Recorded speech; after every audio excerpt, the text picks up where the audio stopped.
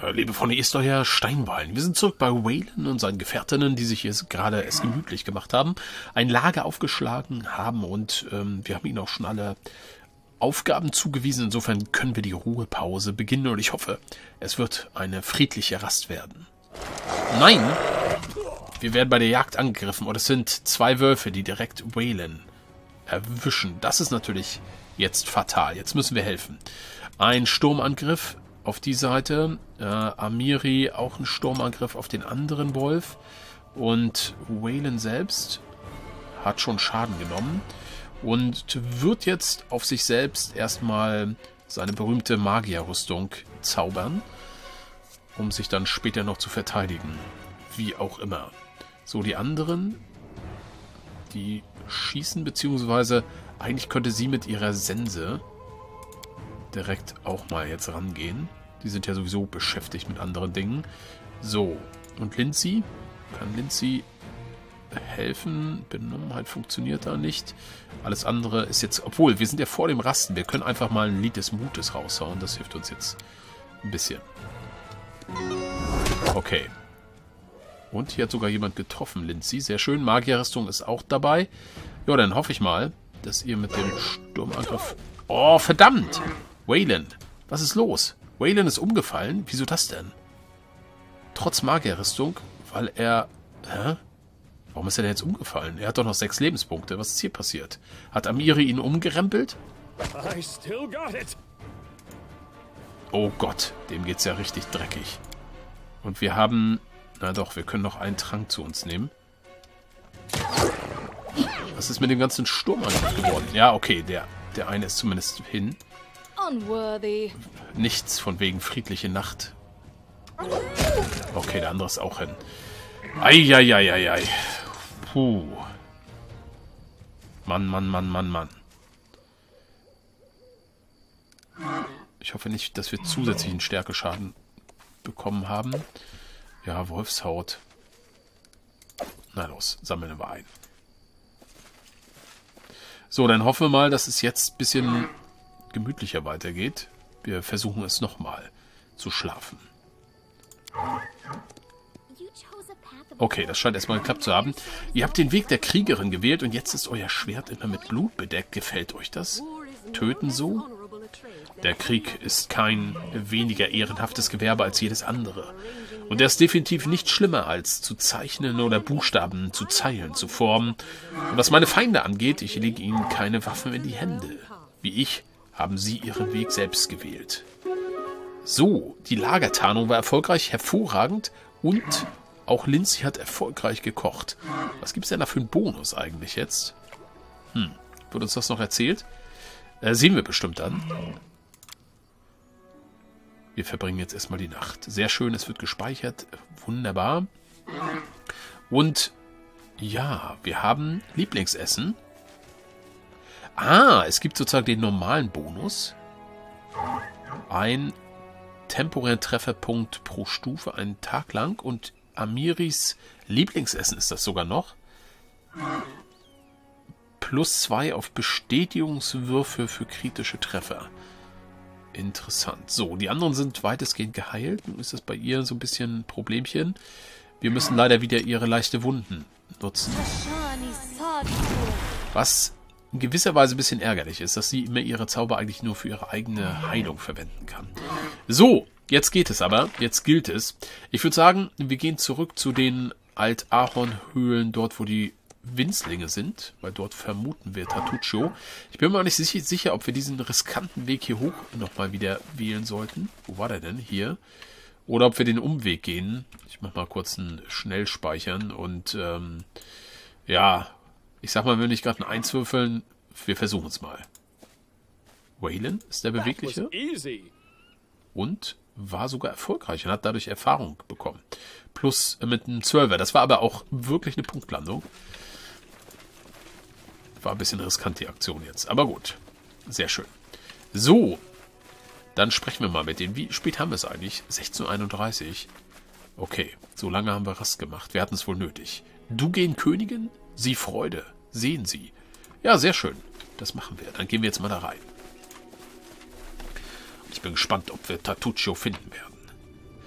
Ähm, wir können noch Zeug mitnehmen. Oh, wir haben tatsächlich Goldmünzen liegen gelassen. Gut, dass wir erinnert werden. Was? Grüner Quarz? Was ist hier alles passiert? So die ganzen Fälle und so weiter. Oh, hier sogar göttliche Kunst. Mann, Mann, Mann. Das sind vermutlich von den Schlachten, die wir gar nicht mehr so richtig berücksichtigt haben. Äh, sehr praktisch. Diese Geschichte... Ja, genau. Die kennen wir schon. Und das ist das Labortagebuch. Alles klar. So, wir gehen, Leute. Wir gehen. Ich bin gespannt. Vor allem bin ich gespannt, was dieses Heiligtum ist oder diese heiligen Hallen, was es damit auf sich.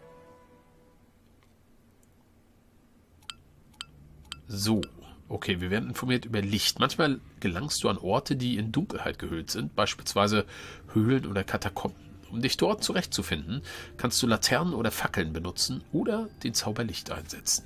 Genau, wir haben eine Laterne Valerie, aber ich finde irgendwie diesen äh, Lichtzauber, der ist irgendwie so witzig, weil man da eine... Warte mal, haben wir hier doch irgendwie Schaden bekommen? Nee, aber wir müssen uns... Ach, wisst ihr was? Wir sollten... Ja, wir müssen mal unsere Gürtel nochmal kurz, äh, kurz optimieren. Wir brauchen auf jeden Fall hier nochmal einen Trank. Die Frage ist, ob wir uns jetzt gegenseitig heilen oder lieber Tränke trinken. Du hast noch einen Trank. Also Amiri braucht auf jeden Fall noch was. Ich würde mal sagen, sie trinkt noch mal einen. Ja. 23 von 30. Komm, wir lassen sie nochmal eintrinken. Und Waden braucht auch noch einen. So, da haben wir jetzt natürlich noch Heilzauber, aber die lassen wir nochmal wirklich als Zauber. Okay, das ist das eine. Und jetzt will ich doch mal hier Licht herbeizaubern. Und zwar, wir werden mal Amiri unter Licht setzen. So, sie leuchtet jetzt, als wäre sie selbst eine Flamme oder was auch immer. Sehr schön. Okay.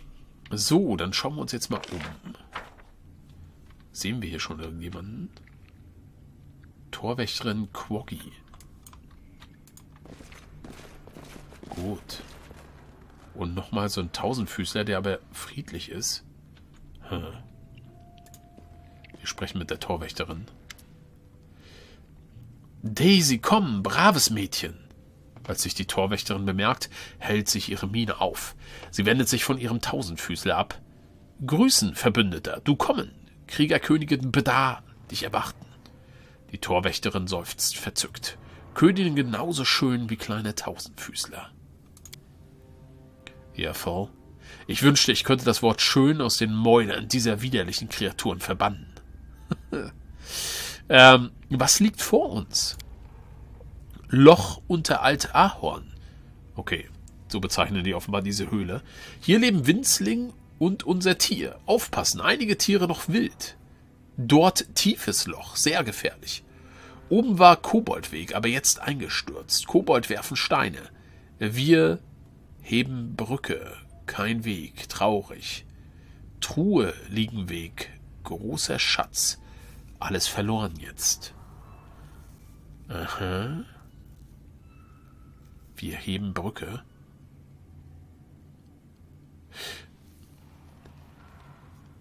Okay. Gut, auf jeden Fall dieser Weg offenbar zum Heiligtum ist versperrt. Weißt du, wo der Kobold-Schamane Tatuk jetzt ist? Schamane Purpurhaut? Nicht wissen. Erstürmen unser Loch, werfen Zauber, Königin ihn jagen, Königin wissen, wo ist. Sehr gut. Wie komme ich zu diesem eingestürzten Gang? Brücke senken schlecht. Schamane Purpurhaut weglaufen über Brücke. Die Torwächterin denkt einen Augenblick nach. Verbündeter machen Handel, ja? Du wollen vorbei? Ich wollen hübschen Helm. Du gehen unteren Weg, dort liegen große tote Spinne. Unser großer Kriegsheld, auf ihr reiten bis sterben. Du mir bringen Kiefer von Spinne, ich dir geben Hebel für Brücke. Du nehm Truhe mit Beute, ich machen Helm aus Spinne. Köstlich. Ah, okay, gut. Das heißt, wir haben es dann wieder mit Spinnen zu tun. Da müssen wir uns dann vermutlich besser ausrüsten. Kieferjuwelen. Die Torwächterin der Winzlinge, die Kiefer bringen. Einer riesigen Spinne aus den Tiefen der Höhlen bringen. Okay, der untere Weg. Was meint sie damit? Diesen hier? Ich würde mal sagen, wir machen uns erstmal auf zur Königin. Und dann... Ah, mal gucken, inwieweit wir uns hier speziell vorbereiten müssen. Wir haben ein bisschen von dem Feuer dabei. Kommen wir unten lang. Das ist möglicherweise der Weg zur Spinne. Oha, hier sind schon feindliche Riesen. Tausendfüßler. Wie es scheint, hat jemand oder etwas versucht, sich durch die Rahmen zu nagen. An einigen Stellen mit Erfolg. Ich würde jetzt noch nicht auf Abwege gehen. Ich will erstmal hier zur Königin, glaube ich. Aber wir kommen trotzdem erstmal sofort in den Kampf. Aber es scheint nur einer zu sein. So, Valerie geht ein bisschen nach vorne. Amiri macht einen Ansturm.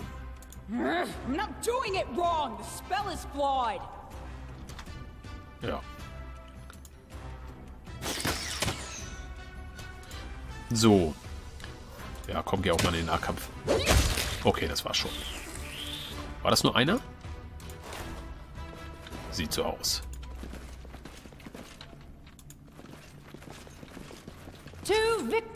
Ja, jetzt kommen ein paar mehr. Jetzt kommen ein paar mehr. Wir versuchen mal mit den Fernkämpfen vielleicht die hinteren zu erreichen.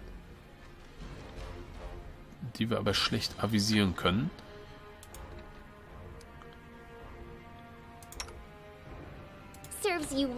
Das erhöht die Chancen, dass wir sie noch erwischen, bevor sie in den Nahkampf gehen.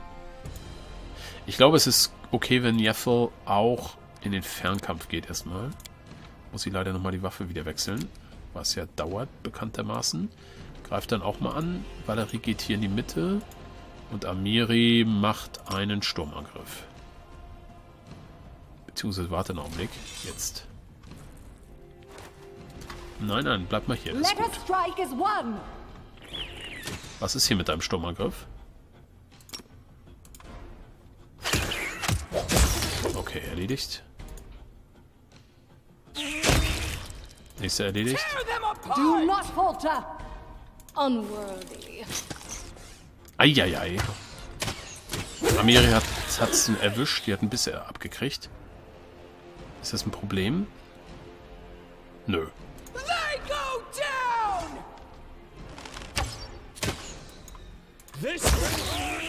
Gut. Okay. Wichtig ist, möglichst wenig Schaden bekommen. Weil wir können wenig, wenig heilen. Wir haben nicht wirklich viele Heiltränke. So, wo geht's zur Königin? Beziehungsweise wir machen mal Quick Save. Wir gehen mal hier lang. Ein Boot liegt hier. Winzling Wachposten. Das sieht gut aus. Als wäre es die richtige Richtung. Können wir mit denen sprechen? Wir können es mal probieren. Unser ruhmreicher Held fallen von Reitspinne in Loch und sterben. Arme Spinne. Traurig. So, hier haben wir einen Wachmann. Die Winzlinge sind in ihre Arbeit vertieft und schenken dir keine Beachtung. Ein Priester. Okay. Ähm, wir können hier Dinge. Ich, ja, ich weiß nicht, ob es sowas gibt wie Diebstahl eigentlich. Vor deren Augen hier deren Säcke zu plündern, ist, glaube ich, selbst für Wayland ein bisschen zu viel. Er ist ja nicht. Ähm, das mal zu sagen, er ist ja nicht irgendwie so ein klassischer Dieb, ne? Klar, es gibt Situationen, wo er da keine Probleme mit hat, aber das hier ist es jetzt nicht unbedingt. So, da hinten schon wieder Tausendfüßler. Na, mal sehen. Sehr, sehr düster ist es hier. Kriegen wir den Erstangriff? Versuchen wir es mit Lindsay.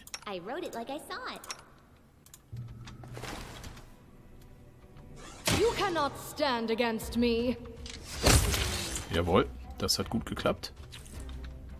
Da kommen aber jetzt natürlich die nächsten und zwar richtig viele. Naja, geht so, ne? Valerie ist mal wieder in der Mitte des Geschehens, so gehört sich das. Und die anderen schießen. Ja. Auf den, ja, das ist okay. Und Amiri wird irgendwann den Ansturm machen. Wow, kritischer Treffer, sehr gut. Ich würde mal sagen, jetzt startet sie den dorthin. Aber keine Linie, wie es aussieht. Der muss erst um die Ecke kommen. Jetzt geht's. So. Jawohl.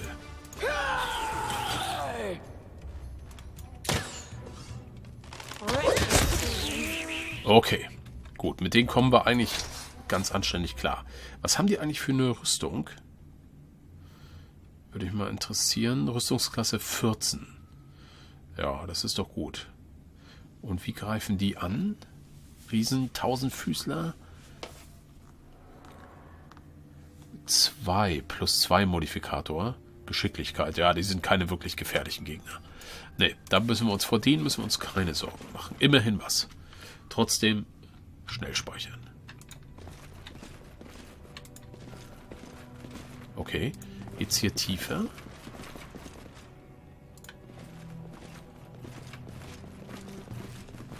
Hm, ist das diese Gegend, von der die Rede war? Ist irgendeine Person. Nein, hier sind Winzlinge. Speer. Also wir sind möglicherweise auf dem Weg zur Königin. Hier geht's aber weiter. Wo sind wir hier? Kann ich hier mal fragen? Er redet immer noch vom Helden und der Spinne. Da oben ist was. Wir gucken uns erstmal hier um. Hier geht es noch einen anderen Gang. Oh, hier ist aber viel zu erkunden, Leute. Sehr viel. Wir gehen aber hier hoch, glaube ich.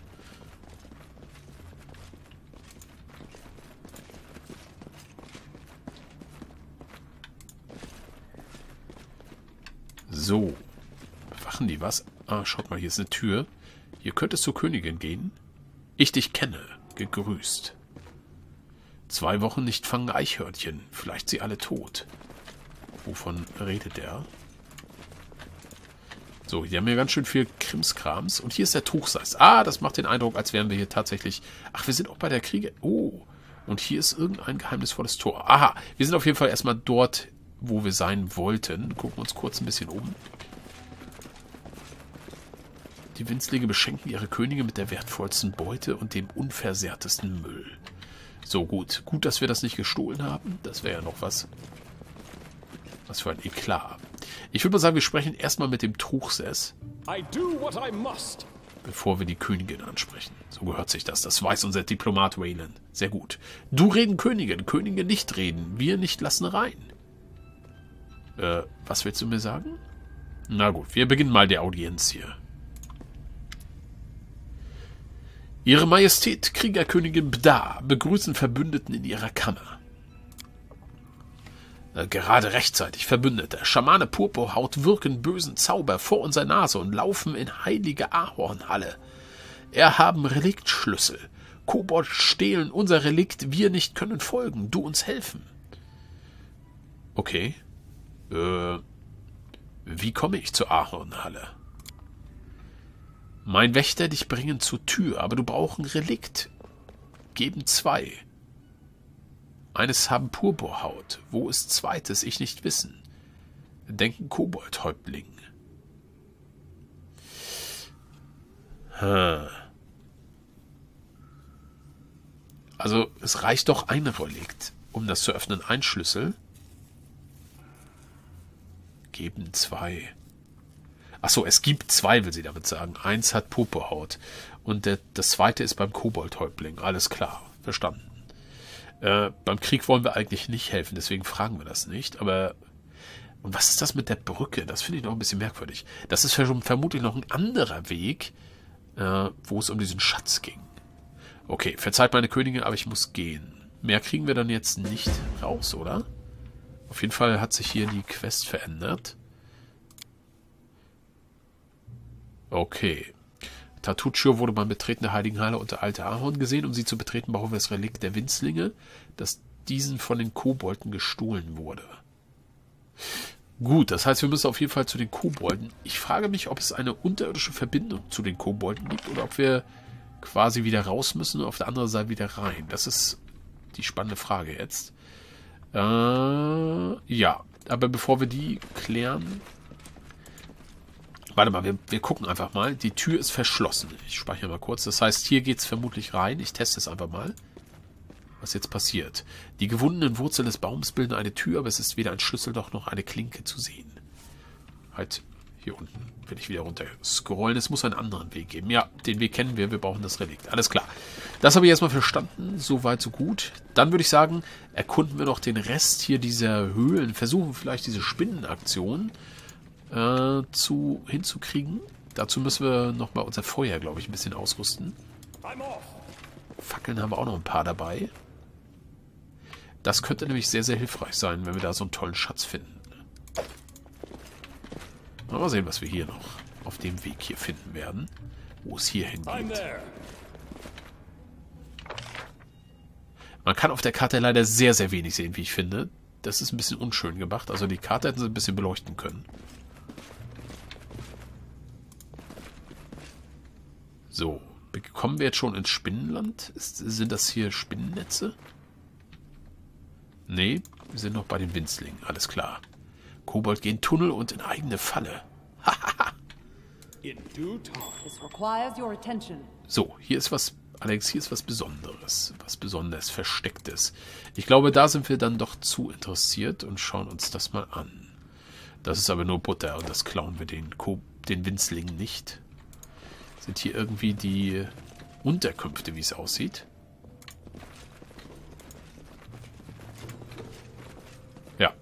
Das wird so sein. Haben die noch was zu sagen? Ich mache ein Loch in Alt-Aton. Alt-Ahorn-Könige sagen böse, mich jetzt bestrafen. Ja, aber dafür keine Löcher machen. Das hätte vermutlich sogar ich gewusst. Ich dich kenne. Gegrüßt. Haben wir uns gesehen schon. Bei der großen Schlacht. Ein Priester der Winzlinge? Okay, auch er hat ein Loch gemacht. Und hier geht's nicht weit. Aha, wartet mal. Hier ist tiefes Loch gefährlich. Ich verstehe.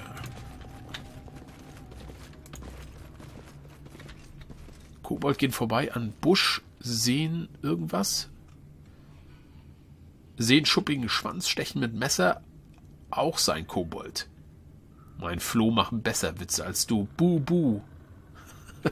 okay, das ist hier der Witzbold. Der steht da oben und macht Scherze. Was haben wir hier? Rahmen. Die Winzlinge haben Fensterrahmen an die Höhlenwände genagelt. Hinter einigen sind Landschaftsbilder zu sehen. Oh Mann. Sie haben eine Sehnsucht nach der Landschaft. Warum leben sie da nicht? Draußen? Warum in diesen Höhlen?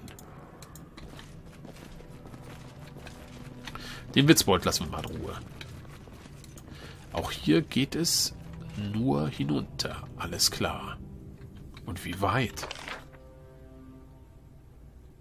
Gut, dann wird vermutlich das der Weg sein, um die Spinne zu treffen. Oder die Spinnen. Mal sehen, ob wir darauf vorbereitet sind. Wir gehen schon mal so ein bisschen in die Richtung, aber ich denke, dieses Abenteuer werden wir dann erst das nächste Mal angehen. Mal gucken, ob wir uns, uns noch irgendwas auffällt. Bis dahin.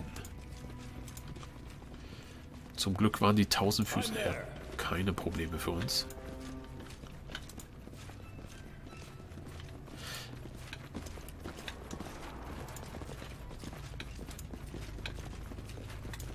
Oh, oh, oh. Tausendfüßler. Okay, den Kampf werden wir nochmal... Oh, das sind einige. Den Kampf werden wir nochmal annehmen. Unsere Fernkämpfer feuern bitte auf die dort hinten. Despicable. You deserved it. So. Valerie geht hier nach vorne. Und Amiri erstmal bitte hier hin. Ja, das ist gut. Amiri macht einen Sturmangriff bitte hier hin. Halt! Das ist Amiri. Wo ist denn Valerie?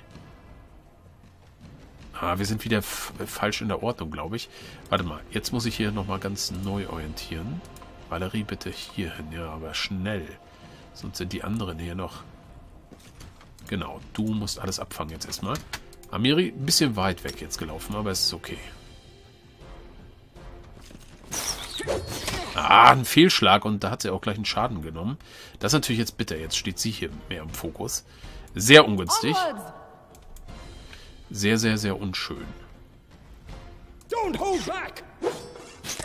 Und wir treffen nicht. Der nächste Schaden. Jetzt wird sogar Wayland angegriffen. Also die machen uns jetzt richtig Ärger.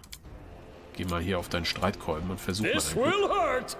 Aber wartet mal. Vorher lieber eine Magierrüstung. Sicher ist sicher. Kleiner Feigling ist er auch. Okay, den ersten haben wir.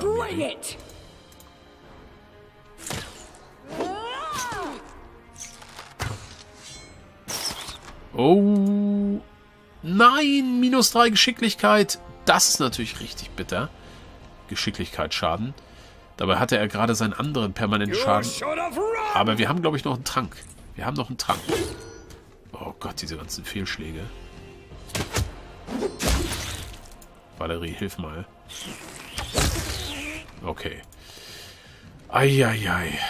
Aha. Okay, durch die Aktion sind wir jetzt nicht so einfach gekommen. So. Ein bisschen Schaden abbekommen vom, vor allem dieser Geschicklichkeitsschaden, ist ärgerlich. Da müssen wir was machen. Da müssen wir was machen. Wir haben hier einen Genesungstrank, den werden wir jetzt benutzen. Mal gucken, was er uns bringt. Plus zwei. Okay. Das heißt, wir sind bei, ja, fast bei normal angekommen. Aber ich glaube, wir können uns hier keine Schwäche erlauben. Wobei, es kann natürlich sein, dass wir noch auf weitere 1000 Füßler treffen, die das normal mit uns machen. Insofern ah, heben wir uns den nochmal auf. Wir haben jetzt nur noch einen Geschicklichkeitsschaden. Das geht erstmal. Gut. Ein bisschen Heilung braucht Amiri. Aber ansonsten, glaube ich, können wir es noch wagen, hier den Gang, die Gänge weiter zu schleichen und nach den Spinnen zu suchen. Also, wie gesagt, das beim nächsten Mal. Bis dann, macht's gut. Euer Steinballen.